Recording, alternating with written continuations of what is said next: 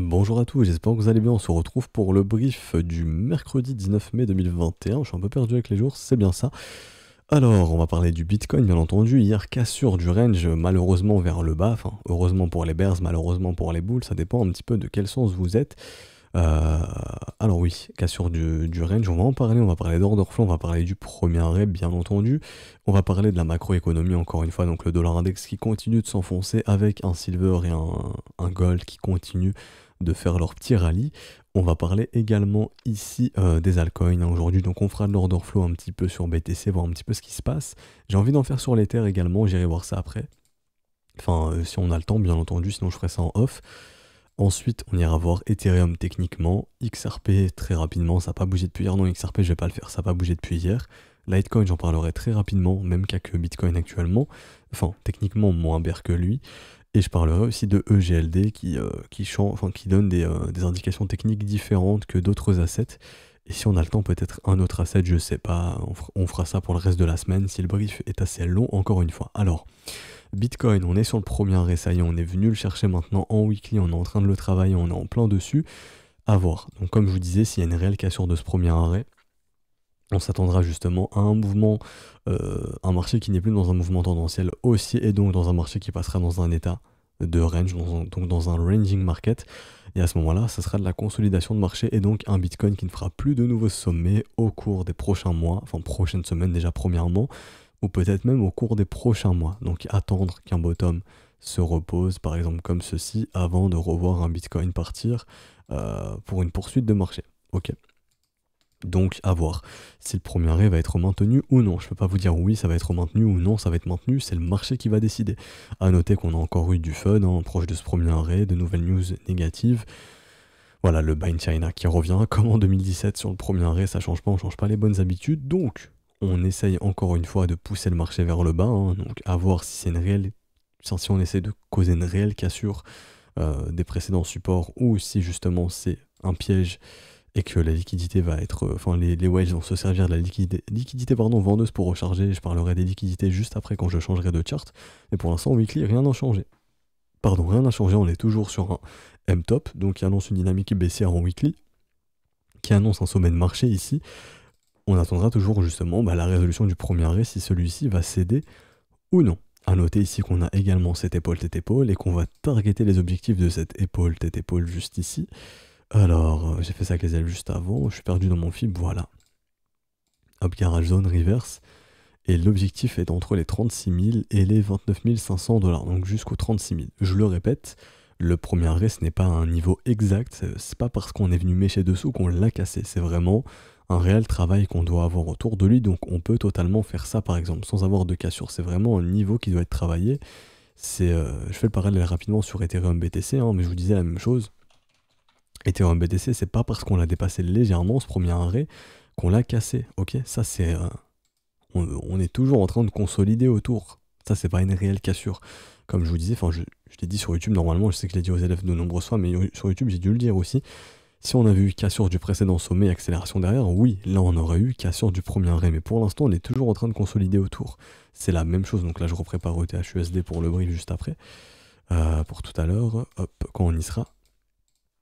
Je passe ici, hop, euh, en 4 heures, enfin je sais plus quelle charte j'avais préparé, peut-être celle-ci, je sais plus. Bref, on s'en fout. Euh, oui, voilà, donc oui, on peut totalement venir faire quelque chose comme ça, ça signifierait pas euh, non plus la cassure du premier arrêt directement. Ok? C'est vraiment un niveau proche d'un niveau qui doit être travaillé. On peut le travailler comme ça, soit on a une résolution baissière, à ce moment-là ça casse, ou on a une consolidation, résolution haussière, à ce moment-là le premier arrêt se reprend. Ok? Donc en weekly, rien n'a changé pour le moment. Donc le weekly, c'est fait, je, peux passer à autre chose. On va aller sur du court terme très très rapidement. Alors sur du court terme, on avait identifié le range ici, suite aux divergences de momentum. Donc rappelez-vous, un marché ne se, retourne très très très rarement sans passer via une phase de range. Donc généralement, le marché va ranger avant de trouver... Euh, je perds un peu la voix. Avant de trouver son bottom et donc de retrouver une dynamique haussière. Donc actuellement on a eu la phase de range, les acheteurs n'ont pas réussi à poser un bottom, résolution baissière, poursuite du mouvement baissier. On va regarder le momentum actuellement qui continue de pousser à la divergence. Donc pour l'instant ces divergences ne sont pas encore confirmées, rappelez-vous, quand c'est en pointillé ce n'est pas encore confirmé, donc aucun signe ici qui montre qu'on est prêt à retrouver une nouvelle phase de consolidation. Si les divergences se confirment à ce moment-là, ça changera, on retournera dans une nouvelle consolidation et on verra si le marché arrive à poser un bottom. Donc pour l'instant, je le répète, hein, comme c'était le cas ici, et comme c'était le cas ici également, aucun signe de bottom ici, aucun signe de bottom ici, bah, aucun signe de bottom ici sur du court terme. Je passe en une heure sur du plus court terme, on regarde ça rapidement. Est-ce qu'il y a de nouvelles divergences qui se sont formées ou non?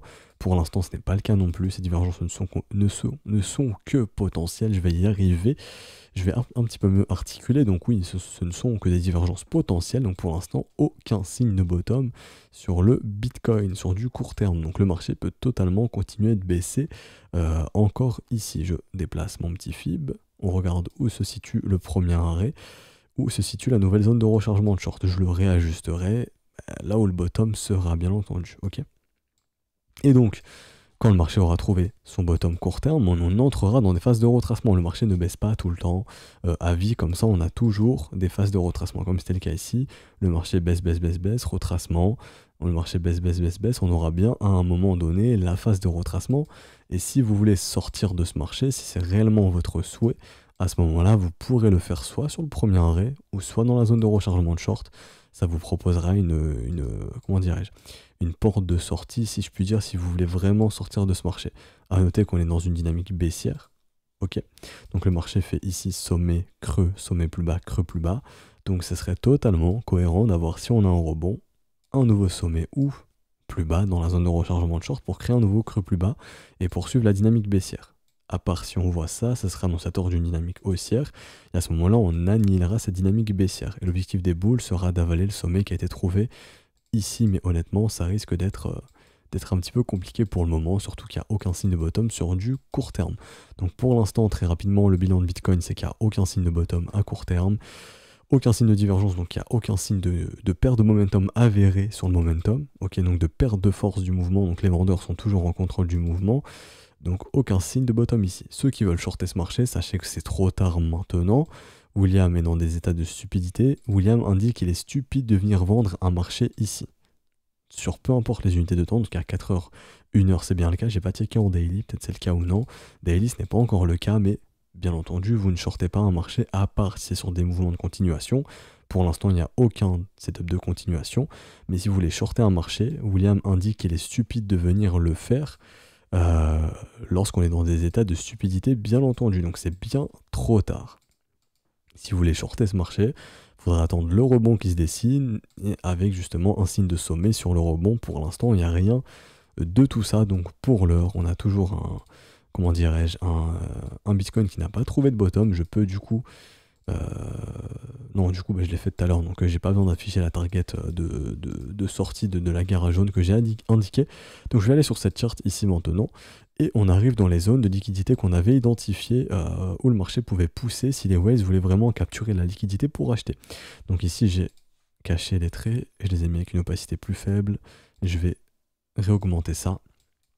Juste ici, et donc on arrive dans les zones de liquidité où les whales peuvent recharger si elles souhaitent le faire, donc zone de rechargement, et dans cette zone de rechargement, on a un creux dans la value, ok, donc ça, ça indique vraiment qu'il y a eu très peu de business effectué ici, et que toute la liquidité de ce support peut être récupérée là-dedans s'ils veulent racheter, donc tous ceux qui vendent justement, euh, pardon, tous ceux qui. Euh, qui sont venus acheter le marché sur le support bah, vont probablement euh, déclencher leur stop ou les liquidations vont venir s'exécuter ici. Et à ce moment-là, les whales pourront racheter si elles décident de le faire. Donc c'est une bonne zone de liquidité pour nos amis baleines si elles veulent racheter. Et on a aussi la précédente structure de bottom qui a été posée juste avant. Donc comme j'expliquais aux élèves, la smart money avait posé le bottom juste ici. Le bottom avait été posé ici par la smart money très très probablement. Donc c'est une zone qui risque d'être énormément défendue. Donc je vous ai mis les niveaux qui risquent d'être énormément défendus le niveau actuel, donc les 38 735. Hein, pour l'instant, le marché est venu mécher dessus. Et on a le prochain niveau, donc la prochaine ligne de coup de la structure qui est ici, au niveau des 34 800. Ça, c'est une zone qui est très très importante de maintenir. Si on maintient cette zone, ça montrera que la smart money ici qui a posé ce bottom veut défendre ses positions. Il y a beaucoup de positions qui sont euh, défendues ici, qui seront défendues très très probablement. En revanche, si le marché arrive à venir casser juste ici, euh, comment dirais-je? Si le marché arrive à venir casser cette zone euh, juste ici, attendez-vous très très probablement euh, bah, simplement une cassure du plus bas. Ok, une cassure du bottom et vraiment une accélération de la chute du prix. Donc pour l'instant, tant que cette zone tient, c'est bon signe pour le marché. A contrario, si la zone ne tient pas, faites très très attention, ça pourrait signifier pour le coup ici bah, une accélération du mouvement baissier. Donc en gros techniquement, cette zone est la dernière zone qui peut défendre le premier arrêt que je vous ai montré juste ici en weekly. Si vraiment on s'affranchit de la précédente structure, euh, clairement c'est pas bon signe. Bon, on aura qu'à sur du premier arrêt. Et à ce moment-là, ça peut devenir très très très très très dangereux pour le marché et partir sur un couteau. Donc cette zone, je répète, doit vraiment être défendue par le marché. On doit réellement poser un bottom ici si vous voulez espérer euh, ne pas avoir un couteau, donc un couteau c'est un énorme mouvement baissier qui s'accélère. Ok. Et donc à ce moment-là, ne pas voir les altes vraiment, euh, bah, elle aussi, très très probablement partir dans un énorme, énorme couteau également, parce qu'un bitcoin qui, euh, je sais pas moi, un bitcoin qui, qui chute de 30% supplémentaire, c'est pas très bon signe pour les altes non plus. Les altes ne peuvent pas être Superman non plus. Hein. Si Bitcoin mange 30% contre le dollar, bah elles mangeront, elles mangeront pardon, 30% également. Très très probablement. Donc vraiment une grosse zone à défendre ici. Donc pour le Bitcoin, c'est fini, l'update est clairement euh, fini. J'ai pas grand chose d'autre à dire. D'un point de vue technique, d'un point de vue order flow, je vais voir ça assez rapidement. Alors on a un marché qui continue de shorter. Donc le, mouvement baisse, l'open interest augmente, avec pour le coup un funding qui diminue. Donc si vous voulez regarder le funding, vous fiez au funding, c'est un funding qui diminue. Moi maintenant je me fiais plus au spread comme je, comme je, le disais. Et donc bah, le spread a continué d'être baissier ici sur ce mouvement. Donc une offre qui surperforme la demande. Donc d'un point de vue contrat dérivé, probablement massivement du short ici. Le marché commence à rebondir un petit peu. On voit que l'intérêt ici se remet un petit peu à diminuer. Donc du covering de short. Donc on continue d'accumuler euh, des, liquidités, enfin, des liquidités vendeuses vers, vers le nord. Donc c'est ce qui montre également que quand le bottom aura été trouvé, on aura bel et bien le fameux rebond qui viendra sortir les vendeurs. Parce qu'il y a des vendeurs qui shortent beaucoup ce marché. On ne peut pas les laisser gagner indéfiniment. Le marché ne peut pas baisser à l'infini. On aura bel et bien un rebond au bout d'un moment qui viendra justement sortir la liquidité des vendeurs. Et ça vous fera justement une bonne opportunité de sortie. Si vous voulez réellement quitter ce marché, ça vous fera une bonne, opportunité de sortie. Mais pour l'instant, signe de bottom à court terme, donc il faudra continuer de serrer les fesses jusqu'à ce qu'un bottom se pose et qu'on ait la phase de retracement. Si vous voulez sortir, en tout cas une sortie professionnelle et plus propre, c'est quand le marché justement fait les phases de retracement. Euh, celui qui vend justement quand le marché est bien vertical vers le bas cède à la panique. Celui qui attend le retracement justement fait la sortie propre. Donc celui par exemple qui voulait vraiment quitter le Bitcoin ici, il pouvait le faire dans la zone de rechargement de short. ce sont des zones de hedge qui permettent d'exit les marchés si vous souhaitez le faire. Donc ici on aura la même opportunité de sortie très très probablement quand le marché aura trouvé un bottom si vous voulez sortir. Hein le marché probablement vous fera l'opportunité de le faire bah, dans la zone de rechargement de short qui est ici proche des 51 000, 55 000, parce que le marché retrace. Le marché ne peut pas euh, descendre sans cesse et sans cesse et sans cesse sans jamais retracer. Donc, bah, j'ai fini pour Bitcoin honnêtement, l'update. Euh, donc pour l'instant, toujours aucun signe de bottom. Faites attention à vous. Si vous voulez acheter ce marché, sachez que vous achetez un marché euh, qui n'a posé aucun bottom pour le moment. Donc vous achetez contre la dynamique. Si vous voulez shorter ce marché, sachez que vous êtes, vous arrivez bien bien tard honnêtement pour le moment. Donc la meilleure chose à faire, c'est de s'abstenir de trader pour le moment et d'attendre que la situation se clarifie, si je puis dire, et qu'un bottom puisse se poser. Et pour moi, le seul trade à faire, c'est de soit de shorter le rebond quand le rebond arrivera si vous voulez shorter ce marché, ou de sortir de ce marché lorsque le rebond arrivera. Donc soit premier arrêt ou zone de rechargement de short, hein, comme on vient de le voir à l'instant, mais de sortir lorsque le marché baisse comme ceci euh, dans une dynamique bien définie maintenant, euh, bah, c'est un peu tard. Vous êtes probablement proche de vendre le bottom si vous sortez ici. Alors, et du coup, je vais attaquer euh, bah, la macroéconomie. C'est vrai que j'ai oublié de le faire. Donc, d'un point de vue macroéconomie, un dollar index qui continue de s'enfoncer. Donc, c'est très suspect d'avoir un dollar index qui s'enfonce avec un bitcoin qui accompagne le dollar index. Et généralement, elles sont très décorrélées, enfin corrélées, mais inversement. Enfin, inversées, pardon. C'est-à-dire que si le dollar index euh, euh, bah, baisse, généralement, le bitcoin, lui, augmente. Et quand le. comment dirais-je et quand le dollar index euh, augmente, bah, le Bitcoin chute. Donc vraiment, euh, soit le dollar index augmente et le Bitcoin chute, ou soit le dollar index chute et le Bitcoin augmente. Là, les deux vont dans la même direction. C'est assez suspect et je maintiens mon avis hein, que si on a un dollar index qui enfonce ses supports et qui vient péter les 88 points, pour moi, ce serait bon signe pour le marché crypto et pour les actifs refuges. Et même les actions, je pense, euh, puisque tout le, cash du dollar va, se diriger bah, dans tout ce qui est actions indice et probablement crypto-monnaie, si, le, secteur de la crypto-monnaie est toujours recherché ou non. Ok? Donc affaire à suivre pour le moment, en tout cas aucun signe de bottom, enfin sur le mouvement baissier ici du dollar index, hein. je parle bien ici également, enfin bien entendu, aucun signe de bottom ici sur cette phase baissière pour le moment. À voir s'il y aura un signe de bottom ou non Pour l'instant, ce n'est pas le cas. Donc franchement, assez suspect de voir le, Bitcoin euh, accompagner le dollar index. Mais bon, c'est comme ça, le marché décide de baisser. Pardon, l'offre est supérieure à la demande. Donc laissons le marché avoir une offre supérieure à la demande. Et donc je viens sur Ethereum. Pour le coup, donc non, c'était pas cette charte. Hein. Je pense pas que c'était cette charte ici. C'était peut-être une autre, peut-être BTC USD Coinbase ou Bitstamp, je sais pas quelle charte je vais utiliser. Bon, je vais utiliser Coinbase. Alors, Ethereum qui lui arrive également sur son premier arrêt, un niveau qui va très très... Ah, on y est venu ici sur Coinbase, très très bizarre. À moins qu'on soit... Ah non, c'est... Mais non, mince, c'est... Euh, Bitcoin, je me suis dit... Euh, très bizarre, ouais, je me suis dit non. Ok, désolé pour ce petit contretemps, ça c'était le setup de continuation, on s'en fout. Hop, ça c'était le précédent premier arrêt qui avait été maintenu, maintenant c'est plus d'actu, donc je vais tout delete, ça ira plus vite. Je vais vous montrer ça très rapidement. Vous prenez votre bottom, votre top, vous tracez votre fib, le premier arrêt se trouve ici. Donc Ethereum représente le marché entier des altcoins, en tout cas mon humble avis. C'est-à-dire que tant que Ethereum reste bullish à long terme, majoritairement le marché des Alpes peut rester bullish également, bien qu'actuellement bah, il y a un peu de rouge, hein. le marché des, Alpes mange une claque également. Mais en tout cas, quoi qu'il en soit, euh, le marché des altcoins euh, est très souvent soumis à ce que fait Ethereum. Quand Ethereum se comporte bien, bah, le marché des alt se comporte bien également. Et pour l'instant, le premier arrêt d'Ether est toujours maintenu. Donc on pourrait se dire que peut-être le marché pourrait trouver son bottom quand Ether aura trouvé son bottom proche du premier arrêt, très très probablement, puisque pour l'instant, Ether n'a aucun signe de sommet de marché à long terme, pardon, contrairement au Bitcoin. Je peux vous mettre, je peux vous comparer le BTC USD, Bitstamp, hop, je passe ici en régular, je viens mettre ici Bitcoin sur une échelle, euh, une autre échelle comme ceci, une rate scale pour vous comparer les deux, comme ceci. Quelle structure voyez-vous ici? Le M-top, ça c'est une, une, structure de sommet de marché à moyen long terme, hein. enfin plutôt à moyen terme ici, donc plusieurs semaines, plusieurs mois, euh, pour le Bitcoin, tandis que lui, Ethereum, est sur un V-top. Ça c'est pas une structure de sommet, ok? Tout comme ici par exemple, Bitcoin était en train de consolider, tandis que Ethereum partait sur du W weekly et a fait ce mouvement de continuation.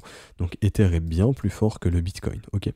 Et lui, Ethereum n'a pas de, instauré de structure de, sommet de marché ici, et donc on pourrait dire que tant qu'Ethereum est encore, euh, bah, encore en vie, j'ai envie de dire, tant que son premier arrêt est maintenu, le marché des altcoins peut encore s'en sortir et le Bitcoin potentiellement aussi.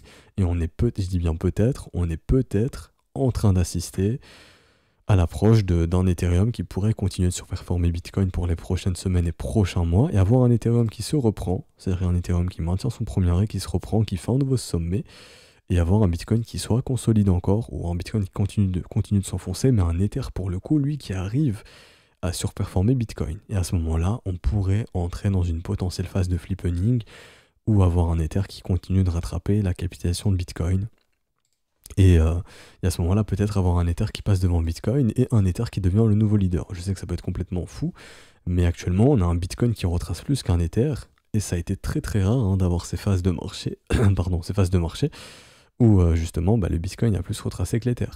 Enfin, où l'Ether, oui, où le Bitcoin a plus retracé que l'Ether. Ici, Ethereum a plus retracé que le Bitcoin. Bitcoin n'était pas venu chercher son premier arrêt, Ether, lui, était venu le faire. A contrario ici, Bitcoin est sur son premier arrêt, Ether lui pas encore, mais Bitcoin est légèrement en dessous, Ether ne l'est pas encore et même en pourcentage de baisse, un Ether c'est un 34%, un Bitcoin c'est un 40% de mémoire. Donc Bitcoin mange une plus grosse claque que Ethereum. Voilà, 40% pour Bitcoin, 34% pour l'Ethereum, donc un Ether qui souffre un petit peu moins. Quoi qu'il en soit, à long terme, il n'y a aucun signe de sommet pour, euh, pour l'Ethereum pour le moment. Ça peut totalement changer, donc si ça change au cours des prochaines semaines, je le dirai. Il n'y a aucun problème là-dessus, mais pour l'instant, c'est pas le cas. Et donc, à surveiller pour Ethereum, les 2700 euh, dollars. Hein. donc, le premier arrêt ici, 2736 dollars, mais je le répète, le premier arrêt, c'est pas un niveau exact. En gros, c'est toute la zone proche du premier arrêt qui est importante de surveiller, tout comme je vous l'ai dit sur Bitcoin. C'est pas un niveau exact, ça y est, on l'a cassé parce qu'on a dépassé de 10 dollars. C'est pas ça. C'est vraiment une zone à défendre. On veut voir de la consolidation et une résolution. Que ce soit une résolution baissière ou haussière. Généralement, le marché consolide et on a soit résolution baissière ou résolution haussière. Ok Comme c'était le cas ici où le marché a consolidé jusqu'à ce qu'on ait la résolution haussière et la poursuite du mouvement. Donc à surveiller, premier arrêt, vous juste, juste vous allez sur TradingView, vous tracez un Fibonacci, donc du bottom jusqu'au top, et vous surveillez le développement qui s'y fait ici. Ensuite, je passe en daily rapidement, je regarde le momentum en daily. Alors, pour l'instant, Ok, donc là, un momentum très très fort, un momentum baissier très très fort également. Enfin, il n'y a pas de structure ici pour ma part. Donc je peux pas dire que le momentum est contrôlé par les, bears, les bears, pardon. Waouh, le lapsus, par les bears. On n'est pas du tout dans, comment dirais-je, dans une structure de momentum qui annonce une dynamique baissière. Donc de ce point de vue-là, même Ethereum a un momentum qui reste plus fort que celui du Bitcoin. Je vais diminuer l'unité de temps, je vais passer ici en 4 heures. Et on a un Ether ici qui pousse à la divergence. La divergence n'est pas encore confirmée. Ok? Donc ce qu'on aimerait voir, c'est ici sur du 4 heures pour le coup, hop, voir les divergences se confirmer, donc voir la consolidation, voir la structure se poser. À ce moment-là, on se dira, ok, un bottom se pose sur Ether et donc on sera prêt à retracer l'entièreté du mouvement ici, voire même peut-être à partir sur des mouvements de continuation et faire un nouveau sommet par la suite. Pourquoi pas? On est encore loin de tout ça, mais bon, je dis bien pourquoi pas. On avait d'ailleurs sur euh, Ether la même chose que sur Bitcoin, hein, la même zone de range ici, et donc la résolution a été faite par les vendeurs. Donc pour l'instant, aucun signe de bottom à court terme pour Ethereum. Et on continue de pousser à la divergence. Hein. Donc le momentum continue de pousser à la divergence. Pour l'instant, ce n'est pas confirmé. Si ça se confirme, on aura de réels signes de consolidation à venir et donc de tentatives de poser un bottom. Pour l'instant, c'est pas le cas. Ok? Donc rien de plus à dire pour Ether. Update update, parce qu'on m'a fait une remarque sur ma prononciation de update que je dis à la française, update, si vous voulez, donc euh, pour Ether fini, XRP pour le coup, pour l'instant c'est toujours euh, en zone de combat, donc j'ai rien de plus à dire, faudra attendre la résolution, et LTC est sur son premier arrêt, donc les grosses enfin, les gros assets du marché sont majoritairement sur leur premier arrêt, j'ai juste envie de regarder si ADA c'est le cas aussi, là j'ai pris Kraken mais il euh, n'y a pas assez d'historique, j'aurais dû prendre Binance, ici, ok. Donc je vais regarder euh, ADA également, qui est maintenant est un mastodonte du marché. Est-ce qu'elle est sur son premier arrêt? Pas encore, donc pas de cassure non plus pour, euh, pour le mastodonte ADA. À voir si on aura un, un premier arrêt ou non. Mais bon, majoritairement, les gros gros assets du marché sont sur leur premier arrêt. Donc j'avais utilisé ici euh, Bitfinex? Non. J'avais utilisé quoi alors? Coinbase? Non plus. Kraken? Je sais plus ce que j'ai utilisé. Ok, c'est bien Kraken, donc ouais, voilà, pour l'instant, LTC sur son premier arrêt, zone de combat ici. On est sur un VTOP tout comme Ethereum, donc Litecoin est moins bear que Bitcoin d'un point de vue dynamique. Il n'y a aucune dynamique baissière ici sur Litecoin. Donc on est sur le premier arrêt et Litecoin bah, vient tout le temps chercher son premier arrêt. Lui, c'est un grand classique. Hein. Premier arrêt ici, maintenu, nouveau sommet. Premier arrêt ici, maintenu, W, nouveau sommet. Premier arrêt ici, maintenu, nouveau sommet. Donc voilà, pour Litecoin, c'est un grand, grand, grand classique. Donc d'ailleurs le premier est, une excellente localisation pour le, petit Litecoin généralement quand on y revient. Et Litecoin non plus n'a pas de signe de sommet, il n'y a pas de M-top ici. Je remets la zone de combat, l'update de Litecoin est terminé et je termine avec EGLD ici. Alors EGLD j'en parle parce qu'il a une charte qui est complètement différente, il pourrait rejoindre Bitcoin dans, dans la catégorie M-top euh, et poser un sommet de marché. Donc là à ce moment-là on pourrait casser le premier arrêt si le M-top prend forme. Donc là, c'était la grosse zone de combat, rappelez-vous qu'on avait identifié. Si on casse vers le bas, attendez-vous à un EGLD qui retracera plus, qui, aura donc, qui ira donc pardon, chercher sa zone de rechargement. Entre eux, je vous affiche les prix ici. Hop, euh, donc je vais les dire à haute voix également, entre 97 dollars et 57 dollars. Et vous, on peut identifier aussi les creux dans la value. Donc là, il y a un énorme creux jusqu'ici. Donc ce ne serait pas aberrant, je dis bien si ce M-top prend forme, d'avoir un EGLD qui retracerait jusqu'aux 42 dollars au cours des prochains mois. Ce serait pas aberrant. Je dis pas qu'on va y aller obligatoirement, je dis juste que si ce M-top prend forme, on sera dans une dynamique qui sera baissière au cours des prochaines semaines. Et à ce moment-là, il faudra attendre qu'un nouveau bottom se repose par exemple comme ceci. À ce moment-là, vous aurez un nouveau signe de bottom. Ok? Donc affaire à suivre ici et peut-être un bottom en hiver pour de prochains rallyes bah, en, euh, en printemps prochain, peut-être prochain euh, euh, printemps pardon 2022 à voir. Mais je dis bien si ça prend forme, hein. si ça prend prend pas forme, ça reste simplement qu'une zone de combat et on se redirigera vers les résistances. Donc là, faudra voir ce qui prend forme ou non. Donc pareil, vous mettez vos comment dirais-je, vous mettez en weekly, vous tracez un trait ici, un trait ici, vous attendez de voir s'il y a une cassure ou non. Pour l'instant, il n'y a pas de cassure encore qui est avérée. Donc wait and see. Mais sachez que si ce M prend forme, c'est une structure de retournement.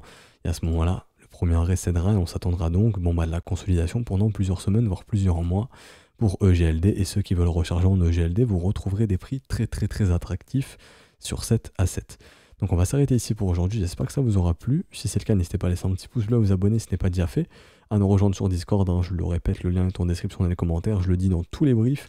Euh, si vous voulez rejoindre l'école, c'est mieux de le faire via les paiements crypto que les paiements Patreon. Patreon, c'est toujours en début de mois, donc idéalement le 1er juin. En crypto-monnaie, c'est peu importe, ça ne change pas grand-chose, ça change rien du tout même, c'est quand vous le voulez.